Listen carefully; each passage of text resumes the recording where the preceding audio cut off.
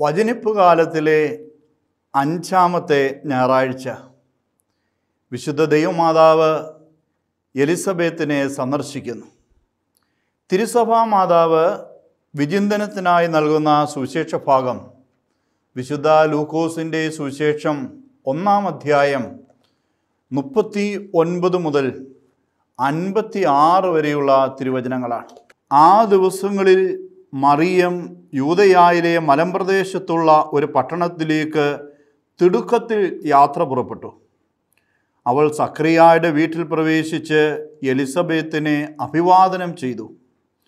മറിയത്തിന്റെ അഭിവാദനം കേട്ടപ്പോൾ എലിസബത്തിന്റെ ഉദരത്തിൽ ശിശു കുതിച്ചു ചാടി.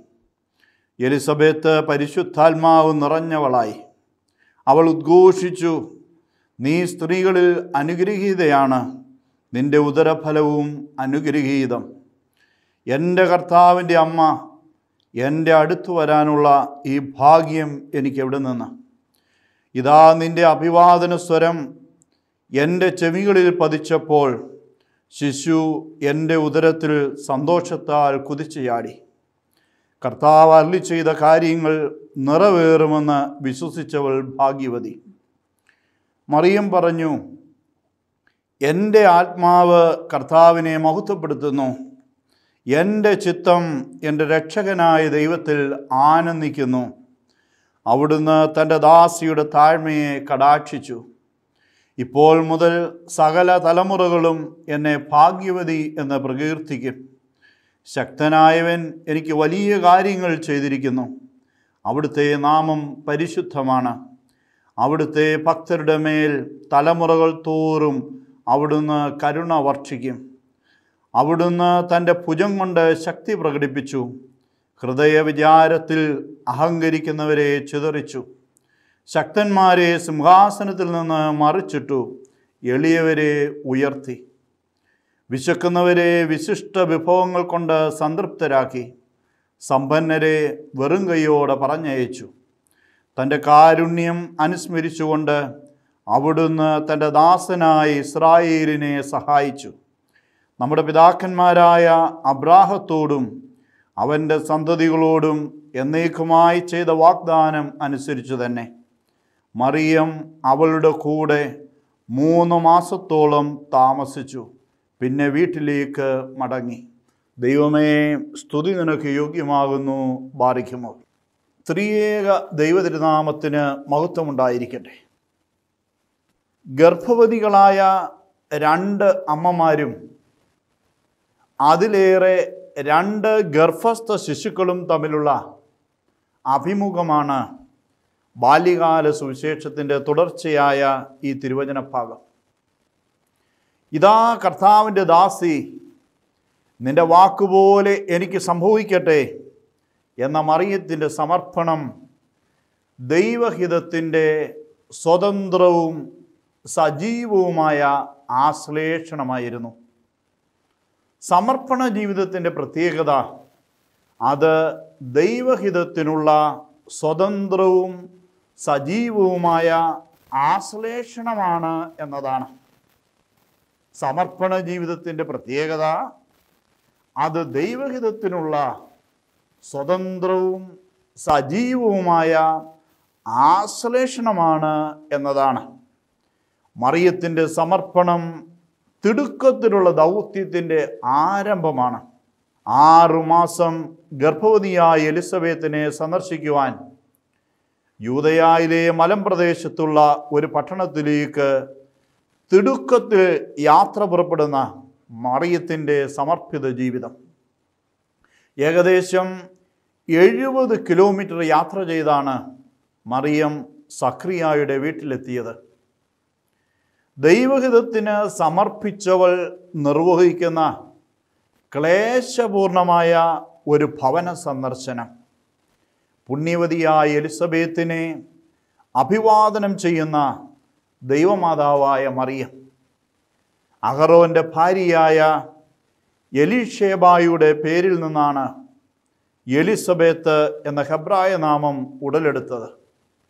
എലിസബത്ത് പുരോഹിതനായ സഖ്രിയുടെ ഭാര്യ സ്നാപയവനാന്റെ അമ്മ കന്യകമറിയത്തിന്റെ ബന്ധു.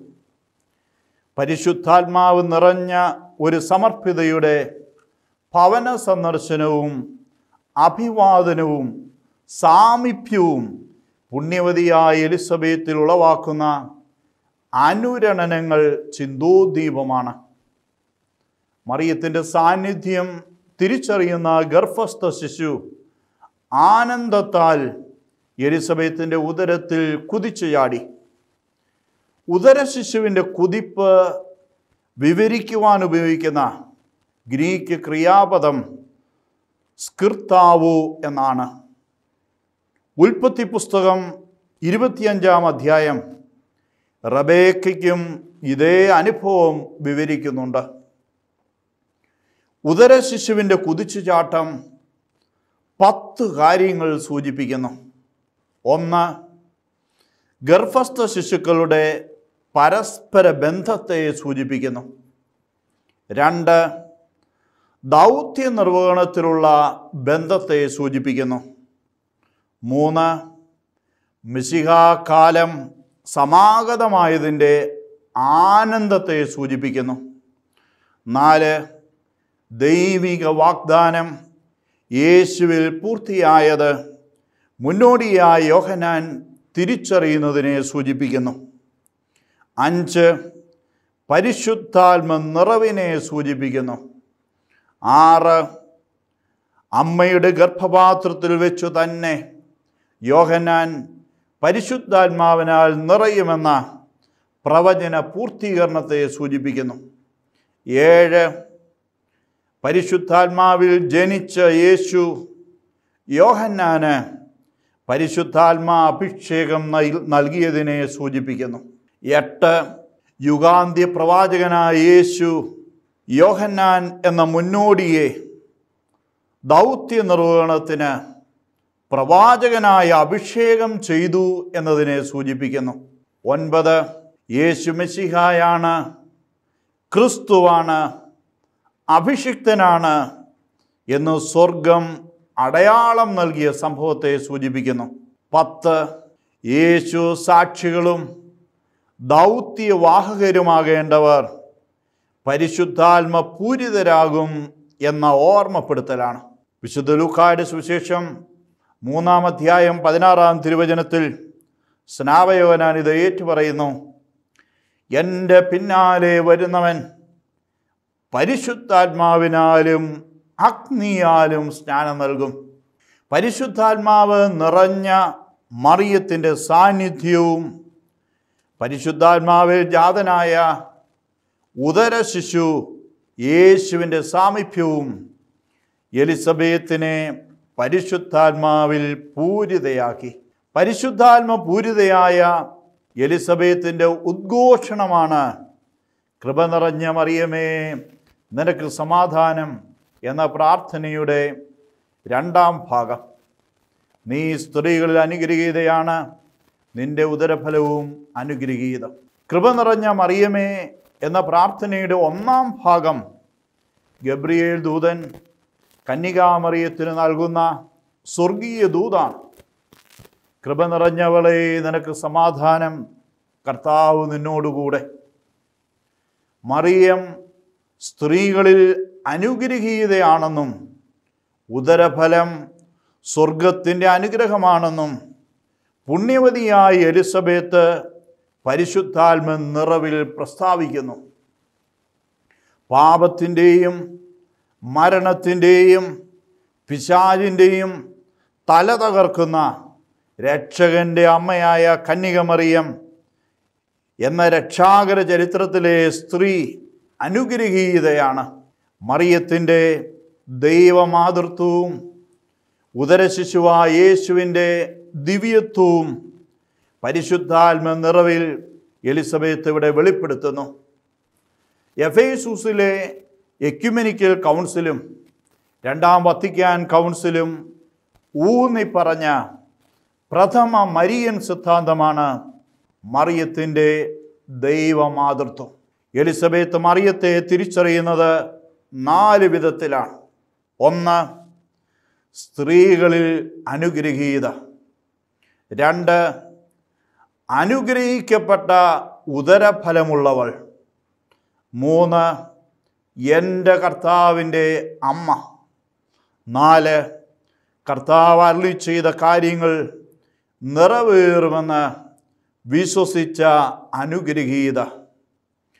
മറിയത്തിന്റെ അനുഗ്രഹത്തിന് നിദാനം അവളുടെ ഉദരഫലമാണ്.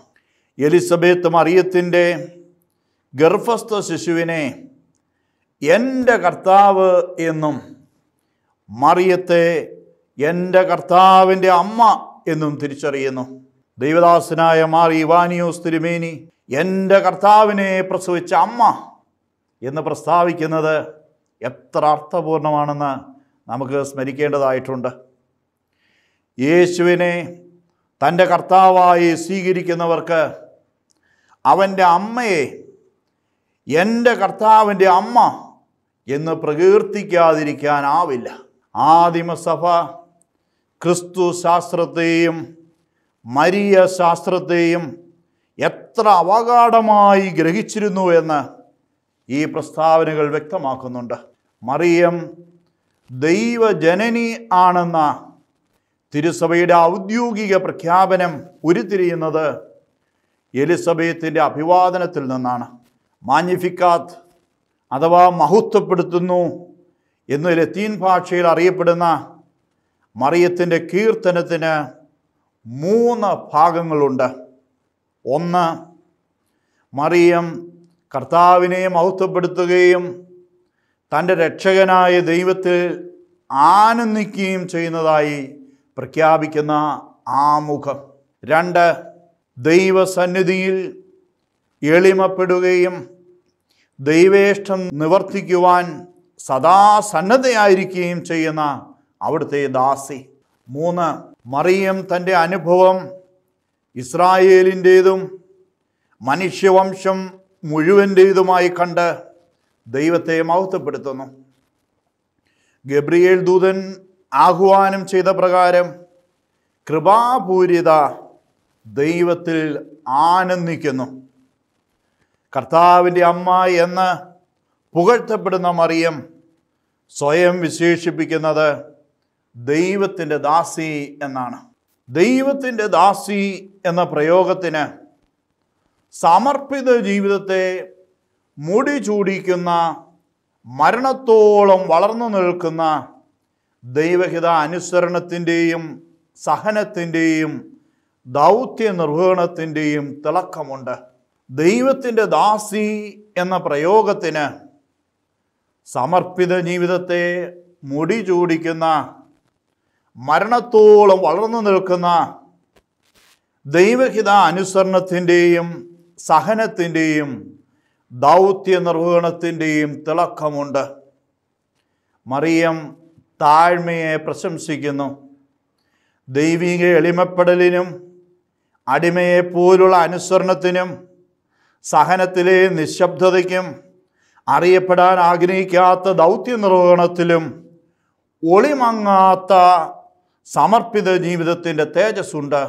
ദൈവത്തിന്റെ ദാസി മറിയം തന്റെ മേലുള്ള ദൈവാനുഗ്രഹത്തിൽ ആഹ്ലാദിക്കുന്നു ആനന്ദിക്കുന്നു.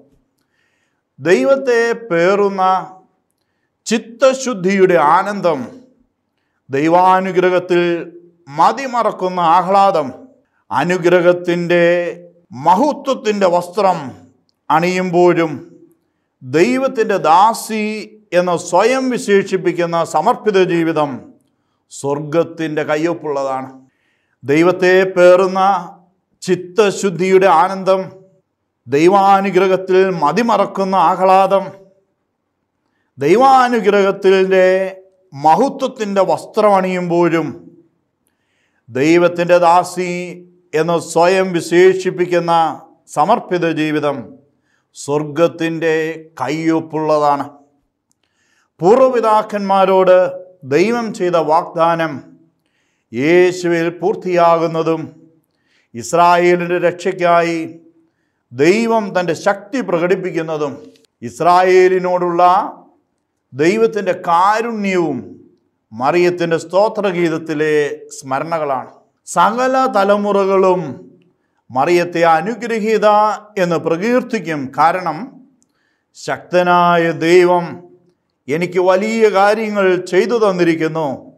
അവിടുത്തെ നാമം പരിശുദ്ധമാണ് എന്ന് മറിയം പ്രസ്താവിക്കുന്നു. മറിയത്തിൽ പ്രവർത്തിച്ച അത്യുന്നതന്റെ ശക്തി പരിശുദ്ധാത്മാവാണ്. തന്റെ ഭുജത്തിന്റെ ശക്തിയാൽ തന്റെ ജനത്തിന്റെ ശത്രുക്കളെ കീഴ്പ്പെടുത്തിയ ദൈവിക പ്രവൃത്തികളെ മറിയം അനുസ്മരിക്കുന്നു. ഈജിപ്തിലെ ഫറവോയെയും കാനാനിലെ ഏഴ് രാജ്യങ്ങളെയും കീഴ്പ്പെടുത്തി തന്റെ ജനത്തെ രക്ഷിച്ച ദൈവത്തിന്റെ രക്ഷാകര ചരിത്രം ദൈവിക കരുണയുടെ ചരിത്രമായി മറിയം അനുസ്മരിക്കുന്നു. ശക്തനായവൻ ചെയ്യുന്ന വലിയ കാര്യങ്ങൾ പ്രകീർത്തിക്കുന്നത് ദൈവത്തിന്റെ പരിശുദ്ധിയെയാണ്. പ്രപഞ്ച സൃഷ്ടിയിൽ ദൈവമഹത്വം ദർശിക്കുന്ന തിരുസഭ ദൈവം പരിശുദ്ധൻ എന്ന് പാടി അവിടുത്തെ സ്തുതിക്കുന്നു. രക്ഷകനായ ദൈവത്തിൽ ആനന്ദിക്കുന്ന മറിയത്തിന്റെ ചിത്തം സ്വർഗീയ ആരാധനയുടെയും സ്തുതിഗീതങ്ങളുടെയും സ്വർഗീയ അനുഭവം അനുസ്മരിക്കുന്നതാണ്. ഈജിപ്തിന്റെ അടിമത്വത്തിൽ നിന്ന് പുറപ്പെട്ട മരുഭൂമിയിലെത്തിയ ജനത്തിന് അപ്പവും മാംസവും വെള്ളവും നൽകിയ കർത്താവിന്റെ കാരുണ്യം മറിയം അനുസ്മരിക്കുന്നു. കർത്താവ് തന്റെ ദാസനായ ഇസ്രായേലിനോട് ചെയ്തതും കർത്താവിന്റെ എളിയ ദാസിയായ മറിയത്തോട് ചെയ്തതും പിതാവായ അബ്രാഹത്തോടും സന്തതികളോടും ചെയ്ത വാഗ്ദാനത്തിന്റെ പൂർത്തീകരണമായാണ് മറിയം മനനം ചെയ്തത്. ചരിത്രത്തിലുടനീളം എളിയവരുടെയും ദരിദ്രരുടെയും പക്ഷം ചേർന്ന ദൈവത്തിൽ ആനന്ദിക്കുന്ന ആരാധനയാണ് മറിയത്തിന്റെ ചിത്തം. എലിസബത്തിനോട് കൂടെ മൂന്ന് മാസത്തോളം സഹവസിച്ച വാഗ്ദാന പെട്ടകമാണ് മറിയം. വാഗ്ദാന പെട്ടകത്തോടൊപ്പം സഹവസിച്ച ഇസ്രായേൽ വാഗ്ദാന പെട്ടകം ജെറുസലേമിലേക്ക് കൊണ്ടുവന്നപ്പോൾ ദാവീദ് ഉച്ചരിച്ച വാക്കുകൾ ദാവീദ് പരിവാര സമേതം അരവനായെ സമീപിച്ചപ്പോൾ അരവന ഉച്ചരിച്ച വാക്കുകൾ എന്നിവ അനുസ്മരിക്കുന്നതാണ്.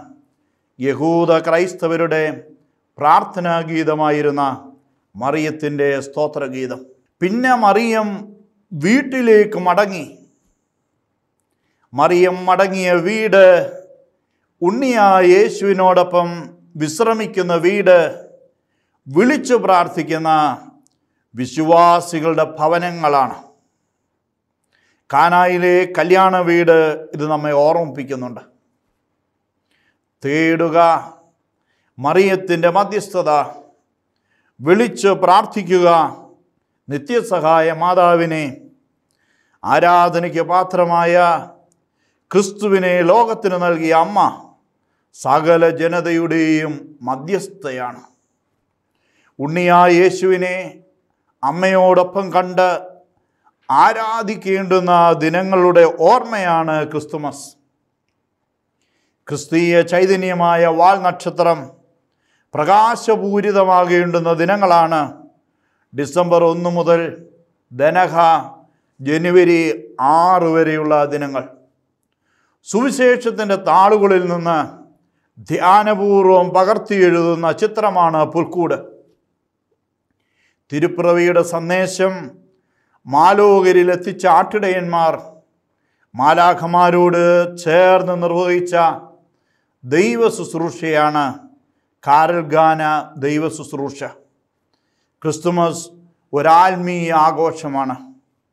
ഇരുപത്തഞ്ച് നോമ്പിന്റെ അരൂപിയും പ്രത്യേക പ്രാർത്ഥനകളും വർജനയും ഉണ്ണിയെ അമ്മയോടൊപ്പം കണ്ട് ആരാധിക്കുന്ന എൽദാ ശുശ്രൂഷയുടെ അനുഗ്രഹം നമുക്ക് വാങ്ങിത്തരും.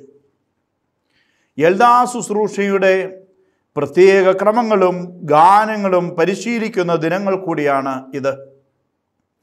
തിരുപ്പിറവിയിലെ തിരുജനനം അനുഗ്രഹമായി ഭവിക്കുന്നതിന് നമുക്ക് നോമ്പ് നോക്കി പ്രാർത്ഥിച്ച് ഒരുങ്ങാം.